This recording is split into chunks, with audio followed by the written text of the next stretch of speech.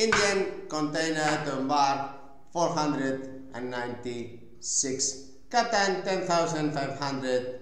Chief engineer 9,000 negotiable.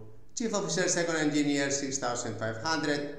ETOs 5,000 ish negotiable. Then third engineer second officer 3,500 US dollar.